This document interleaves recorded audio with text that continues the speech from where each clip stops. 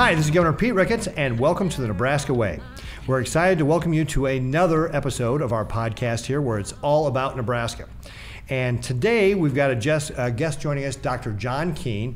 And uh, John, I'm going to uh, read your bio here, okay? And then uh, we'll uh, get into the podcast here. So, Dr. John Kuehn is a professor of biology and chair of the Department of uh, and chair of the department at the Hastings at Hastings College. He's co-chair of Smart Approaches to Marijuana Nebraska, an organization that envisions a society where marijuana policies are aligned with scientific understanding of marijuana's harms. That's a good thing. And Dr. Kuehn has earned a bachelor's degree in biology from Hastings College and his doctor of veterinary medicine degree from Kansas State University.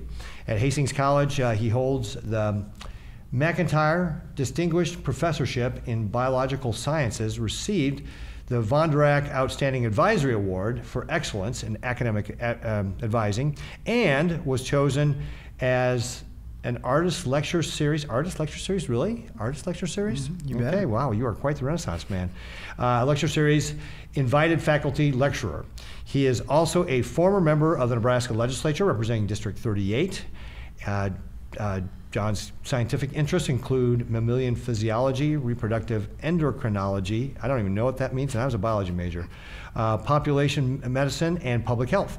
All right, great. So, John, why don't we just start? Tell us a little bit about your background. We, I mean, we kind of hit some of the bio lines here, but just talk to us a little bit about uh, kind of growing up and where you grew up and how you ended up in uh, veterinary medicine. You bet. Thank you, Governor. Um, it's a, a, real opportunity for me to be here with you uh, this morning and, and visit with you about the, the medical marijuana issue. Oh, slow down. I didn't ask about that yet. Oh, no. We're not even about your background marijuana. first. Just tell, tell about your background okay, first. Okay, gotcha. Just relax. Don't jump into it right away.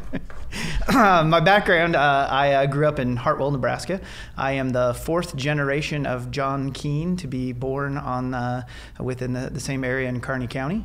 Uh, so deep roots in south central Nebraska. I graduated Minden High School. Um, always wanted to be a veterinarian from the, the time I can remember. Oh, I was cool. uh, the, the kid that was scraping roadkill off the highway and dissecting it. And uh, um, is that a real story? That is true. Yes. Uh, my my mom taught me how to suture hernias on pigs with a needle and thread when I was still in elementary school, and uh, from then on it was all about uh, science and, and medicine and that kind of sense of curiosity. So uh, kind of typical small town high so school. when you nerd. started at Hastings College, you knew you were going to be a biology major. You knew you were going to study veterinary medicine. Did you go straight from that? You graduated from Hastings, then straight to Kansas State. Yep, absolutely. It was a, a direct path. Never any waiver or uh, looked at other options, but always came right back to uh, science and, and veterinary medicine, particularly because the the clinical approach to veterinary medicine is very different than uh, an MD. Um, you know what you call a veterinarian who specializes in only one species. What's that? A physician. A physician, Uh, a so, doctor. yeah, yeah. Yeah, so yeah. uh, uh, the the approach of, joke, of diagnostics and uh, uh, really looking at evidence-based medicine and population medicine that's in, in the veterinary approach always really appealed to me. And so uh, it was uh, the path that I'd wanted to do my entire life, and it was a really great opportunity to be able to, to pursue that academic training and Okay, and so career. when you graduate from Kansas State, you come straight back to Nebraska, start practicing. Uh, came back to Nebraska, started in a, a group practice in um, Hastings, Nebraska, a seven doctor mixed animal practice where I did equine and, and population medicine. Um, moved in and opened my own practice in 2004. Um, simultaneously, when I came back, started teaching a night course um, in anatomy at Hastings College, which was my alma mater. Uh, former uh, dean gave me a call, and, and they'd had an adjunct who had resigned, and so asked me to step in and see if I could uh, teach a class, and uh, just grew from there. And by the time uh, 2004 rolled around, I was uh, hired as a full-time uh, tenure track faculty member. And so uh, you're a moved forward. faculty member. Mhm. You're a veterinarian.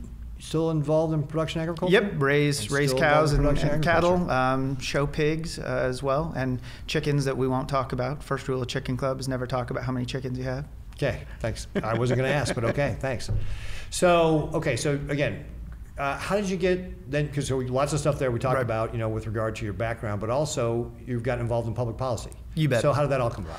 Uh, my public policy work uh, just started in, in local uh, community government, served on the board of uh, a local public power district, and then ultimately culminated in 2004 2014 in running for uh, District 38 in the Nebraska legislature, representing uh, my seven home counties in, in south central Nebraska. And that's really where I, I, got the most involved directly in the policy issues, especially those uh, surrounding um, uh, prescription drugs, healthcare policy. I worked a lot with uh, Nebraska's pre- prescription drug monitoring program legislation. We um, were one of the first in the nations with that, right? Yep, to, you bet. Yep. Um, uh, really a, a, leading innovative um, issue there. I was very involved in public policy around opioids. I was going to say that's one of our prescription drug, prescription drug monitoring programs. One of the things that's helped us control the opioid epidemic here in Nebraska versus what's happened in some other states. Correct. Yeah. The the PDMP is a piece of legislation. That's an easier way to policy. Say it. Yeah. PDMP. the PDMP. uh, it, it really is innovative in, in not only its role in combating um, the opioid issue, which is what a lot of PDMPs were, were built in response to, but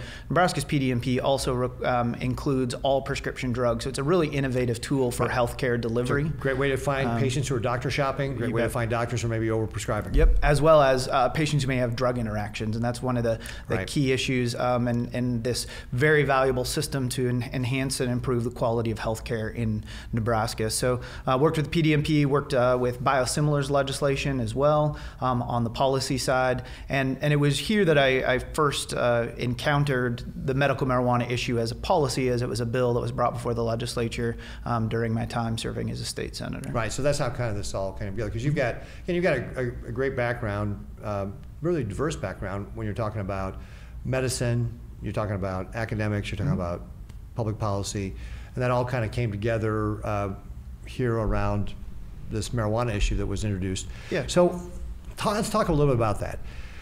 What, uh, first of all, what was the bill that was introduced in the legislature, and you know what started raising your concerns about this the, the bill that was introduced? Yeah, the, the first time I encountered medical marijuana legislation, um, I hadn't been particularly passionate one way or the other about it.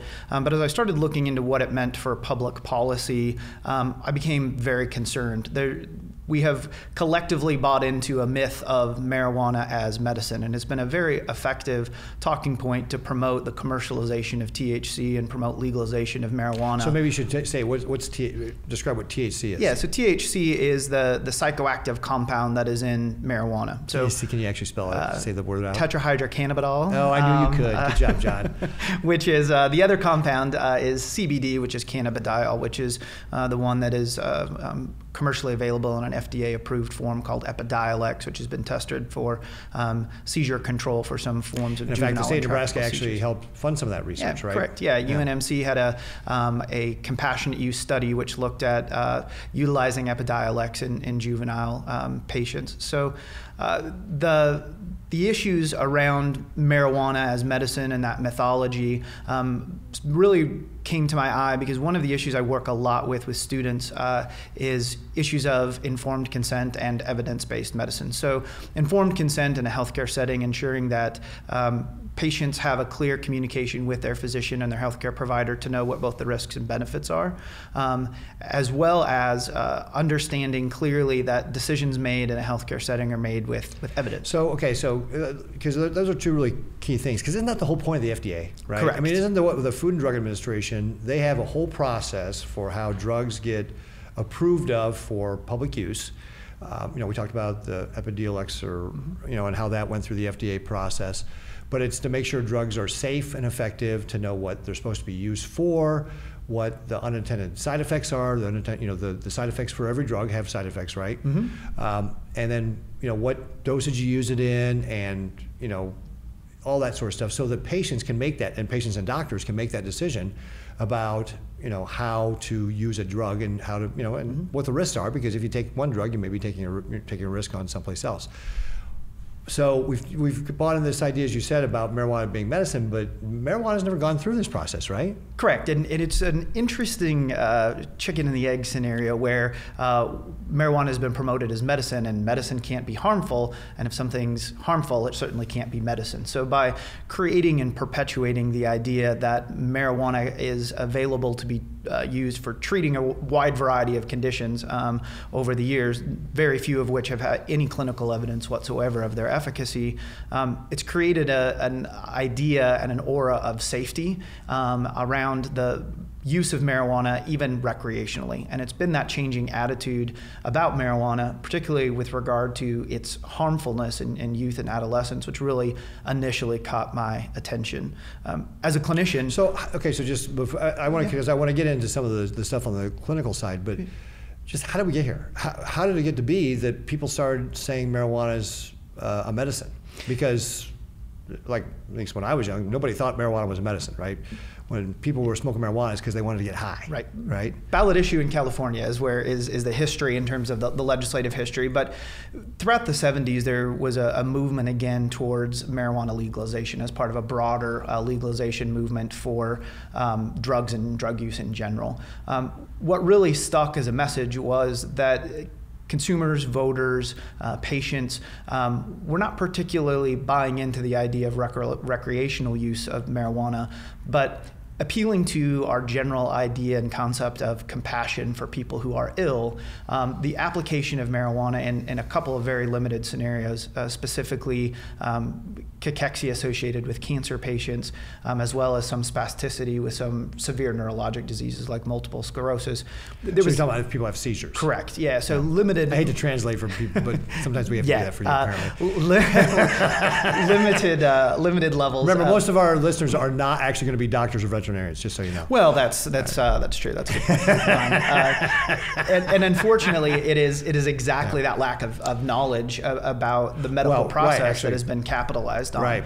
Um, so uh, the the idea that uh, everyone that has an, a family member, a friend, a person in their community who suffered from uh, a cancer, we can all uh, another chronic disease. right. Right. So we see the suffering, and, and our compassion leads us to want to to reach out and give them opportunities to relieve that that pain and suffering. Unfortunately, uh, what that level of compassion has done has allowed. Uh, commercialization of, of marijuana and, and marijuana legalization advocates to really play upon that sense of compassion and uh, portray marijuana as, as harmless. Um, in many cases, portray it as beneficial. Um, and, and But it's just not true. It, it's not true. Um, Yeah. uh, the evidence does not support that. So, speaking of that, because uh, I think uh, our U.S. Surgeon General Jerome Adams actually weighed in on Mm-hmm. this recently. Can you talk a little bit about that? Because you're talking about, again, the marijuana industry, and we want to get into this too. It's an industry, Right. Right. It's a big industry, just like other big industries. But uh, our U.S. Surgeon General's weighed in this uh, weighed in on this recently. Yeah, uh, Jerome Adams, U.S. Surgeon General, so our, our chief medical officer in the country, um, has been very explicit in saying there is no such thing as medical marijuana, meaning that marijuana smoked recreationally for the purposes of getting high um, is indistinguishable and is no different than marijuana that is advocated for, for use for medical purposes. And he's been very uh, cautious about um, encouraging people to take a step back at this normalization of, of marijuana and what its ultimate impacts are on the public health and safety of uh, the country. And it, it boils down to even how marijuana is. Uh, utilized and how it fits into a, a doctor-patient relationship. And it's one of the things i found the most uh, eye-opening when i talked to nebraskans about medical marijuana and the marijuana issue. And it's the, the misperception that there is a, a prescription involved in this doctor-patient relationship. So um, Well, I mean, because I mean, there's no medical association that would say you can actually deliver any drug, marijuana or anything else, by smoking it because you can't control the dosage, right? Correct. just that's a basic thing right there. It's like, well, that's a fallacy right there. It's not a drug because it's not a medical. It's not a medicine because you can't actually deliver medicine by smoking it. Right, yeah. And our traditional idea of drugs are uh, a single compound or a single biological that's in a, a controlled uh, concentration, a controlled dosage, and a controlled administration. That's not what's happening with, with marijuana. Uh, you can go everywhere from smoking it to edibles, which are, are highly concentrated, uh, to baking it in a wide variety of goods, uh, to things like shatter and, and shake and other um, highly processed forms of, of highly concentrated THC each of those is going to have a, a variable impact and interaction with the person taking it. Um, it's highly dependent upon the conditions in which it was grown, and it's, it's completely unpredictable. We would never encourage a patient to go out and uh, plant some willow trees and say, okay, now medicate your headaches by stripping off the bark as it comes. It's, Right. a, it's a ludicrous idea. Um, but for uh, whatever reason, the idea. So can the bark of- willow trees actually be used for medicine? well, that's what salicylic acid, which is aspirin, was actually Oh, comes okay, well, there you go. There So, you go. there you go. A little fun fact Right, for the yeah. day. Um, so uh, the the idea that we are going to have this uncontrolled uh, medication process where the doctor is really peripheral. So the, the doctor's only role in a medical marijuana relationship with a patient is signing a card for an authorizing condition. So they're not actually overseeing the dosage, the route, the administration. That's all handled in the, the dispensary by untrained individuals and not by by medical practitioners, pharmacists, physicians. Is there any other the drug that's like this? Is there any place else where we do something where we just say, okay, yeah, it's a dangerous drug, but you know, don't worry about it. You, it's, somebody who's untrained will actually be able to give you it. Not even close. Yeah, There, there isn't anything in the history of uh, U.S. medical establishment um, or medical practice that is uh, that far out of the parameters of standard-based doctor-patient relationship, safety, and efficacy. And the first step in, in the FDA approval process is f- proving first that it's safe, and the second that it's it's efficacious. Um, this uh, completely bypasses those normal patient and public health uh, safety regulations. Right. So we've, we've kind of established that this there's no clinical research that shows that smoking marijuana actually is medical at all, and it's certainly not being treated like any other medicine. So it's really not medicine. There's no such thing. The Surgeon, Gen- Surgeon General says there's you know no such thing as medical marijuana. It's just a, it's a myth. But it actually is harmful, right? There's research that's showing that is, not only is it not helpful, it's actually harmful. You bet, and in a number of different ways. So. Um, the one thing that we do know definitively is marijuana's impact on the developing brain. So there, there's a lot of research that has suggestive potential effects, that has suggestive outcomes. The definitive uh, area of research of, of marijuana is what the drug itself, especially at high potency, at high frequency, and um, uh, regular use, does to the developing brain. And, and that's really where we are conducting. When you say developing, you're talking about like young people's brains as Kids, to you like bet. kids to like how old? uh, is Like how long is your as your if you're like a guy, how long is your brain developing? Yeah. I I know women would say all your life your brain is developing, you never quite get there, but yeah, when Yeah. the physiologic maturity is going to be about 18 to 21, but we know that in some cases the, the brain is still developing into the early 20s, as, as we've seen with uh, additional research in brain development. But from the moment the neurologic system begins to develop, um, the impact of THC on, on those systems um, in cases can be irreversible. And when you look at, at so it one if you're a kid and you're smoking marijuana, you're actually going to be harming your ability, you know, reducing your IQ, harming your cognitive ability. Is that what we're talking about? Uh, yes, but also not just uh, children uh, self-administering marijuana, whether it's by smoking or edibles, but it's accidental exposure, it's secondhand exposure in the home, um, it's exposure in utero. In, in California, one So in you're ev- telling me that if I'm if a woman's pregnant and she's smoking marijuana, that could be harming the brain function of her child? not only harming in the womb? Yeah, not only harming the brain function of the child. Um, one in five uh, pregnant women in California have reported smoking marijuana while they're pregnant, and the one definitive case. Don't we say it's bad for pregnant women to smoke cigarettes?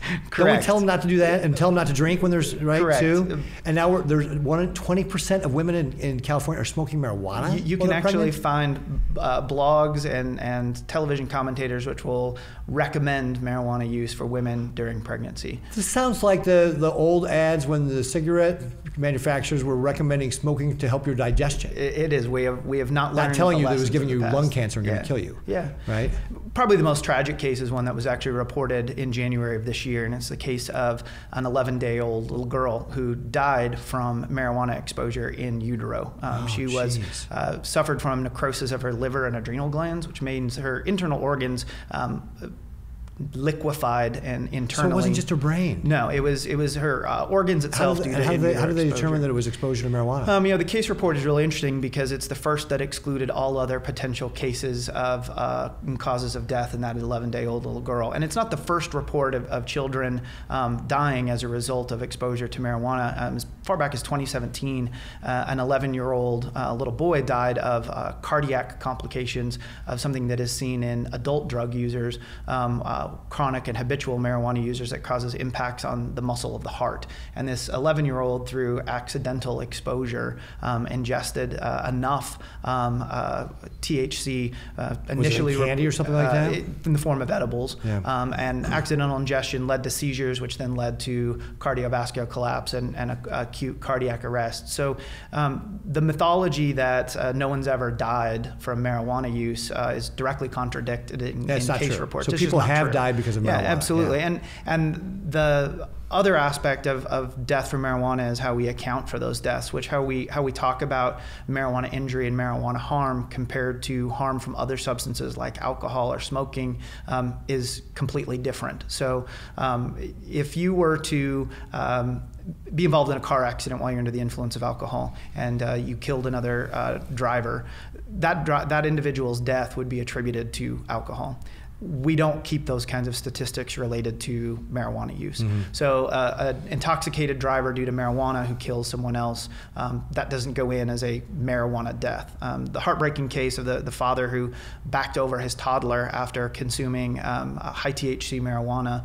uh, and killed him does not go into the records as a marijuana death. Where um, If he'd been drunk, it would have. If he'd been drunk, it would have. Uh, if Yeah. someone falls down the stairs and goes to the emergency room, um, that's considered an, an alcohol uh, issue. We don't keep those records with regard to, to marijuana. So the direct costs in terms of, of injury and direct health, uh, we have not accounted for and, and therefore even trying to understand the indirect costs of this um, on our families and our communities is even more difficult to, to really tease out. Yeah. And uh, we're actually seeing that, aren't we, in states like Colorado, which is obviously just adjacent here to Nebraska, where they have full legalization, essentially, right? I mean, Right.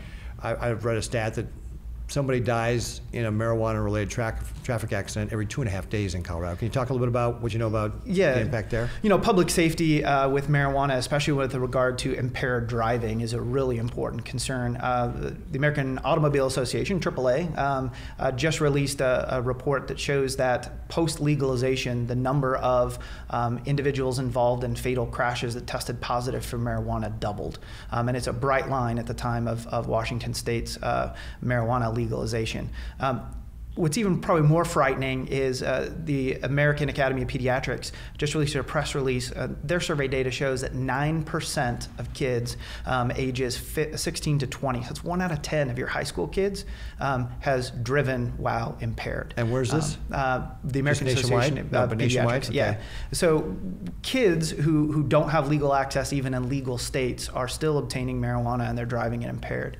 Um, it's not just the issue, especially with, with young adults, of uh, being impaired while they're driving. Um, uh, another study published early this year um, demonstrated in a, in a simulator test that kids were 15% more likely um, to uh, engage in behaviors that would um, improve the likelihood of a crash even when they weren't smoking marijuana. So, smoking marijuana impairs their driving performance even while sober um, and not under the influence of, of the drug. Just ponder for a second um, what it means. So how does that mean? Like, what? what okay, so I, I guess I'm not getting what you're saying with regard to they're not actually intoxicated with marijuana at the time, but it's still impairing their ability to. I mean, it's still leading to a more a higher likelihood of them having a crash. You bet. how does that work? The impact um, of delayed reaction times. Uh, just do the math regarding to how many feet per second you're traveling at 80 miles per hour Right. going down down the interstate. Fractions of a second in reaction time um, can uh, cause uh, increased rates of traffic accidents. We see that with distracted driving, texting, and driving. Right. Um, youth in particular who are consumers of marijuana have such delayed reaction time, even when sober. Just in general, In when general, sober. you bet it increases their risk of uh, impaired driving and reduces their ability to perform in, in driving sim- simulators. So we're conducting a gigantic experiment on youth, the the effects of which will be um, lifelong for many of them. So, so these effects don't wear off after some point, or we just don't know. the we don't know, which is probably the most disturbing thing. But the tough thing about the brain, as we've learned from brain injuries and and continued uh, research into to brain healing and repair, is the brain is not an, an organ which is particularly resilient once it's been damaged, Damaged. or or um, uh, traumatized. And the incorporation of of THC in particular into neuronal tissue and its developmental delays, in some cases, can potentiate lifelong problems. So, what are some of the other impacts that we've we've seen with Colorado going to full legalization, whether it's on kids or anybody else, with regard to kind of just what happening, what's happening in Colorado? Yeah. Um, with regard to, to full legalization, it's really difficult to get a, a full um, understanding of all of the effects again because we're not collecting a lot of, of really good data. Impaired driving is an issue. Um, childhood exposure um, we're seeing an increased incidence of children under the age of two reporting to emergency rooms for respiratory conditions that are testing positive it, for yeah. THC so they've been exposed in the Wasn't home like one in six or something like that? Yeah it's, it's an amazing uh, one in five statistic in, in wow. some of those uh, uh, kids. Um, we're seeing higher incidences of especially when you think of getting exposed in a secondhand smoke way it's causing a a lung infection yeah. or whatever. But then it's also the impacts on the brain and, and right. impairing the brain development yeah. of that two year old. Secondhand smoke, breast milk, um, uh, accidental ingestion, these are all ways um, in which, uh, even though it is legal only for adults and not for children, uh, we see increased effects on, on children and families. Well, we also have the case of Levi Pongi who ate a marijuana cookie and then jumped off a balcony. You bet. I mean, you know, again, just a case of somebody who's young, who's actually, I suppose it was probably legal since he was right. legal to do it, but still ended tragically. And that's the, the frightening unpredictability of, of marijuana. Many uh, of those, uh, my vintage and older, uh, probably had some awareness of, of marijuana as a relatively benign kind of, of hippie drug. And um, probably knew someone who had smoked marijuana and it didn't really do much for them, didn't really have any effects, and they think it, that the marijuana produced in 2020 is that same benign kind of stuff that they maybe used in their youth. It's not that at all. This is no longer a, a drug um, which is a low percent THC. So the, the, the, stuff in the in the 70s and 80s was two and a half percent THC, rose to about five percent. You know, during my college years in the 90s, we're not talking about THC levels in bud and flower that is 25, 28% THC. So one of the stats I read is that again, and this would be kind of confirm what you're talking about, 10 to 50 times more powerful right. today than it was a few decades ago. Right. So when people were thinking about, oh, you know, I, I smoked pot and made me, you know, give me the munchies and mm-hmm. made me relaxed and blah, blah, blah, blah. It's not the same thing anymore because no, no no, all. these new, uh, I mean, it's an industry, again, mm-hmm. it's a big industry, right?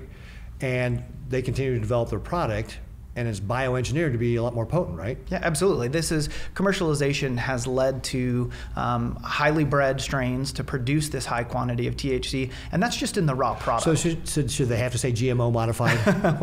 well, that, that gets an interesting uh, d- debate. But, but, uh, but, it is what they're doing, right? They're yeah. trying to modify the, the plant to be able to have higher content, through, right? through selective plant breeding, through greenhouse conditions, through fertilization. You know, they're growing these plants rapidly, very quickly with high THC content, and that's just the the unprocessed bud and flower. That's not the highly processed forms where you see in edibles, in oils, in shakes, where you now have 85, 90% THC. So You talked about like shatter and yeah. So I don't know. What's explain what so, shatter is? So what these are, these are products, um, and we won't go into too much detail so we don't give any listeners a handbook. No. Um, but these are, are ways in which the THC is actually extracted out and it's concentrated. So in some of these, they're actually done at home on, on a black market, um, and others they're commercially available. But the, the THC is, is very lipid soluble, so you extract it out of the plant and you can get a purified THC, and it can be either ingested in a gummy. Many of these are, are packaged uh, to be appealing to kids. Kids, right? Yeah. Um, it can be uh, as a shatter, in which it is uh, absorbed, um, it's licked, it's eaten, it's consumed, uh, it can be smoked.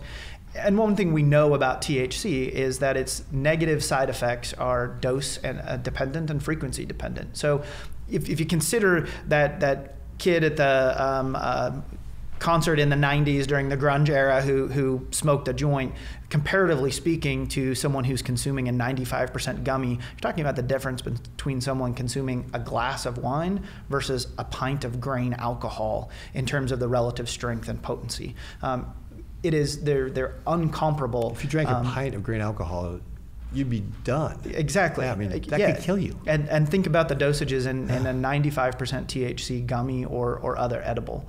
Um, and, and, that's what's led to uh, the identification in emergency rooms um, of uh, greater incidence of things like you referenced in the, the case of the suicide with uh, marijuana induced psychoses, um, people showing up in emergency rooms with overdose symptoms, right. Um, and all of the, the negative side effects that are magnified um, by this high dosage, high potency THC. This, this isn't your your parents' uh, marijuana. This is a, a, highly commercialized product that's intended for one purpose, and that's to get consumers addicted. Addicted, right? And then, well, there's a couple of different ways I want to uh, we can go on this, but one of the things that you, when you were talking about this made me think of. of is Alex Berenson's book, mm-hmm. Tell Your Children, mm-hmm. and it's the truth about marijuana. And look, I know you've read the book. I've read the mm-hmm. book. Uh, it's kind of interesting way it got started. Um, Alex was a New York Times reporter whose wife worked for the state of New York as a psychiatrist, I believe. Mm-hmm. And she came home one night and said, "Oh, guy killed his entire family high on marijuana again." And Alex like, "What do you mean high on marijuana? It makes you sleepy right. and amiable and gives you the munchies." And she's like, okay, well, I'm the one with a PhD, so I kind of know what I'm talking about, but why don't you go do your own research, smart mm-hmm. guy?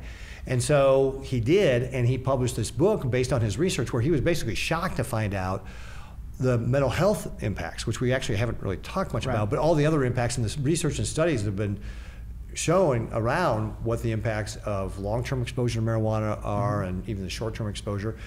I know you've read that book. You want mm-hmm. what were some of the things that struck you out of that book? Yeah, I think what what struck me the most in Berenson's work and his research uh, is the historical context in which he places that for centuries where where marijuana originated people knew um, it was um, bad yeah both in, right? in, in, Mexico and yeah. in the Indian subcontinent they've identified for centuries that there was in, in, concentrated form even that marijuana plant and that marijuana use could lead to violence could lead to mental illness and it's for that reason that that the nation of Mexico actually uh, implemented prohibition of marijuana in 1920 which was uh, over 15 years before prohibition uh, of marijuana, and marijuana was made illegal in the United States. So there's a historical understanding of the role of that drug and how it's different than other plants, other psychotropics.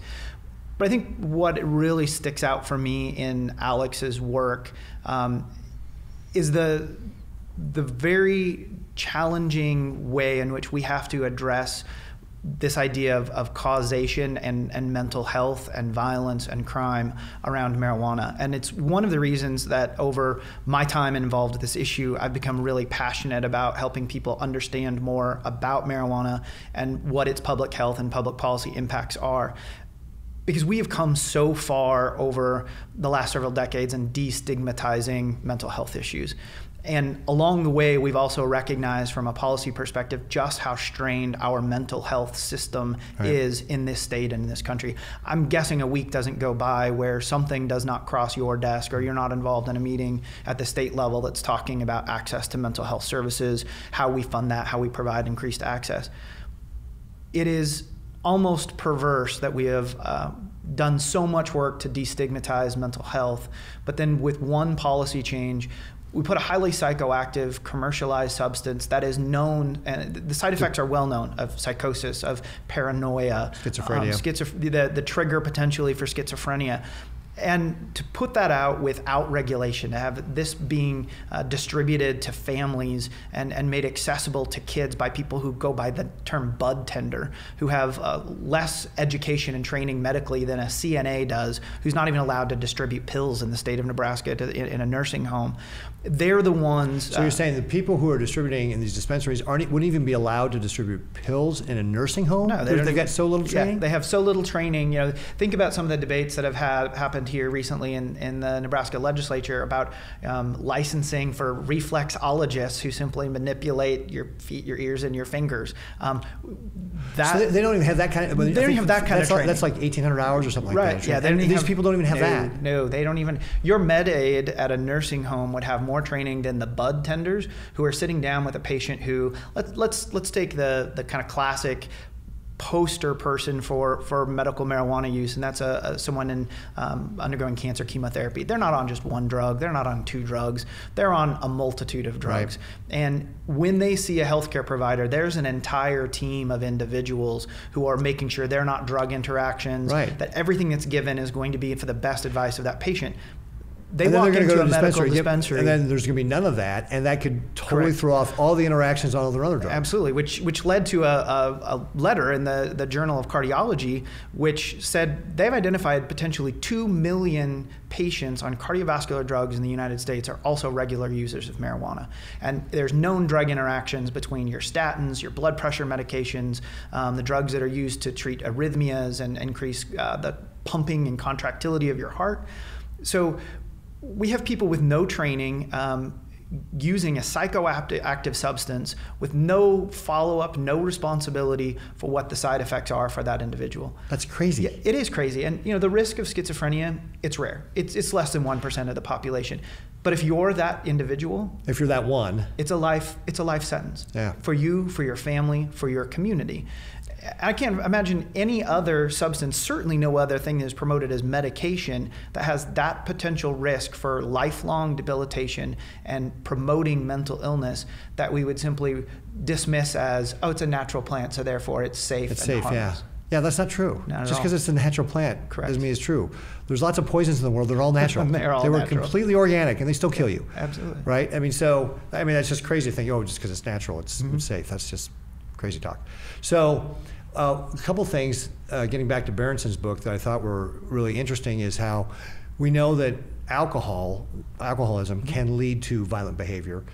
Marijuana use actually is can be in cases more likely to lead to violent behavior. Kind of getting back what you're talking about with the violence thing. Yeah, and and the the really frightening thing about marijuana use when it comes to psychotic issues, mental health, and especially the violence issue is its unpredictability in any given individual. Alcohol metabolizes, the, the liver processes it at a fairly consistent rate. And regular drinkers are going to have a, a, faster way of processing that and maybe need to drink more to experience that. Um, but it's processed by the body and it, it leaves. Marijuana is completely different as a drug. Um, the way in which it's processed by the body is highly uh, individualized for each person. And depending upon the form that you take, the, the, speed at which it absorbs into your body, the way in which it persists in your body. If you've ever known someone who suddenly uh, had a, a, big job interview or a, or internship and they shaved their head, um, you can pull hair samples and identify THC for drug testing uh, months after someone has consumed it. This is a drug that its metabolites stay in your body for an extended period of time. So when you're you're talking about an individual, especially with regard to violence, that individual may have used marijuana before and had no bad side effects, may not have experienced psychosis, mm-hmm. um, but then takes a different form, takes a higher concentration. Um, uh, it interacts differently with other medications, and that's what leads to the psychosis and the violent behavior. It's incredibly unpredictable. Unlike other drugs like alcohol, you, people are, are more of what they are. So they're mean drunk, they're mm-hmm. a, a, a, sad drunk. Um, marijuana users, depending on, on a wide variety of factors, have completely unpredictable outcomes uh, with each and every different high. Well, that kind of gets back to I think you were talking about like on the Indian subcontinent. Again, this is back in Berenson's book. Kind of, they knew that. Right. That this is one of the reasons why they're like, yeah, don't smoke marijuana because it can make it can lead to you know people becoming really violent. You bet. And and so did you know both uh, um, Mexican tradition and um, Indian tradition was well aware of the potential effects and the link to violence, and it was culturally understood. And um, you know, the early prohibition was not necessarily against smoking the, the bud or the flowers, kind of the typical ganja uh, uh, in India, but was rather the more purified forms of THC, which concentrated it. Which concentrated it. And now we're talking about bud and flowers, which have THC concentrations that are several times over what those ancient preparations were in, in concentration. So um, the the availability of, of really inexpensive um, and, and highly um, digestible and highly attractive forms of THC uh, is really the, the downside to this normalization. So, and also, again, getting back to this idea that somehow this is supposed to be medicine, uh, people use it to self-treat for mm-hmm. mental health issues and actually can make it worse, right? Absolutely. If you've already got if you're if you already have mental health issues and you're smoking marijuana, that is likely to make those conditions worse. Yeah, and it's one of the most dangerous facts of, of self-medicating. You know, take for example, you had a someone who just every day when they come home from work, they've got to crack a beer or, or have a couple of, of shots of bourbon before they can sit down and spend time with their family. We would immediately recognize that as, as addictive behavior, right. as substance abuse. There would be no question that, that the individual has to come home and, and consume a six pack of beer before uh, dinner with his family is, is abusing a substance. Yet we see commonly talked about, oh, I just need to smoke a joint to take the edge off, to calm down, to come down off of my high. And and there seems to be a disconnect in recognizing that's addictive behavior too. Yeah, that's right? the same. You got type, a problem. If yeah, that's the case, you got a problem. Same type of substance right. abuse. And what I have seen over the last several years, particularly working with college students, is college students are notorious for self-medicating, whether that's with alcohol, whether that's with food. Um, I, I, deal with and work with students who are come from states and medical marijuana states who have a medical marijuana card for things like anxiety and sleeplessness, which this can actually make worse. Which can make worse, and and more than once, I've I've had to sit down with a student who is unable to make it to their nine o'clock class, unable to to achieve academically, and I start teasing out their issues. They'll talk about their anxiety and their sleeplessness, and then they'll say, "Oh, but you know, I'm I'm consuming medical marijuana. I'm, I'm using my marijuana card. I'm consuming it to go to sleep at night." And and as soon as they stop um, their ability to get up, their ability to, their memory improves, their cognitive function improves. So um, we've sold this as benign and as, as helpful for conditions, especially with like anxiety and depression, which it has the ability to magnify. Also, we know in every other substance, those who are self medicating for depression, for anxiety, for trauma are the ones highest at risk for right. developing We don't approve that any other way. Why right. would we do it for this? Absolutely. So it actually gets into one of the things, and you touched upon this a little bit earlier. This is an industry, mm-hmm. right? This is a, a big industry, just like any other industry. And my take on this is this is an industry that's trying to sell this bill of goods, this false message, to avoid regulation. Right. Right? Because we regulate other types of drugs. Mm-hmm. They don't want to be regulated. Is that fair? Yeah, it, it's big business. So there's a, a reason why Altria, um, the, the tobacco giant, invested over a billion dollars. Oh, they invested over a billion dollars? Cronos, no uh, the publicly traded um, uh, marijuana company with an option for over a billion more to take another wow. 10% stake. So um, Altria has a, a, 45% share in, in Cronos. Um, it's also so that's the overlap between big tobacco and big yeah, marijuana. And, and Altria also right? spent yeah 12 billion to buy an interest in Juul. And uh, oh, we didn't even talk about yeah, vaping and the problems with that, right? Absolutely. We kind of know the problems that people are creating with vaping, and now there's an intersection between vaping and marijuana and too. marijuana and THC. Yeah, the yeah. the um, rates of uh, youth vaping of THC have doubled. So in the, the youth behavior survey done in, in uh, Michigan, the highest increase of any risky behavior um, on record was last year, which was a doubling of the number of, of high school age youth who had vaped THC in the last 30 days. So um, uh, we're talking uh, almost a quarter of students had vaped THC in the last 30 days. Wow. The only time that that's been seen in, in any type of increase in risk taking behavior was the year before, and that was with vaping of nicotine. So you can see the pathway in the playbook um, that, that big tobacco and other corporate interests, as they lose consumers on cigarette smoking because we've made it socially unacceptable and we've recognized right, we spent billions of dollars trying to get people to stop smoking exactly. because it's bad for you. And, and the, the harm reduction was vaping. And so now we have youth vaping nicotine, and we've recognized all the harms of vaping nicotine. And now we we have legal THC, which has moved into the vaping space. And you can see the pathway. It, it, it is uh, something uh, any rational individual can, can see exactly where this leads. It's the same playbook that we saw with big tobacco, which is dismiss any scientific evidence which points out harm, get a generation of individuals addicted, and they do become addicted to high potency THC, especially through vaping. Um, and then you have a consumer for life. Um, and keep moving through um, investing. The unfortunate thing is, the, costs of this addiction, the costs of this aren't going to be borne by the investors in those companies. It's not going to be borne by the people who are are paid to promote marijuana as medicine. It's going to be paid by families. It's going to be paid um, by individuals um, in terms of reduced health outcomes, um, in terms of their reduced productivity, um, and in society as general. The, the costs associated with marijuana commercialization and, and THC normalization and use um, are almost immeasurable. Yeah. So this is why you've gotten involved with smart approaches to marijuana. Can I just talk a little bit about that? Yeah, you bet. Um, SAM as a, a national organization uh, here in Nebraska, we're a local affiliate. I'm a um, co-chair with uh, former Governor uh, Orr, um, and we are uh, working both as an, an, education and coalition building to help um, different segments of, of the Nebraska population, um, whether that's law enforcement, uh, healthcare providers, um, the prevention space, uh, educators, to uh, get facts about marijuana, so and, and educate them um, and provide an exchange of information and the latest research one of the really unfortunate myths about marijuana is that legalization is simply inevitable. You see lots of figures that are thrown around about uh, the, the public approval of marijuana, public approval of, of medical marijuana what uh, we have found in, in our work is that Nebraskans are a pretty smart bunch, and uh, they don't have the same level of uh, approval um, of, of marijuana, um, certainly not for recreational,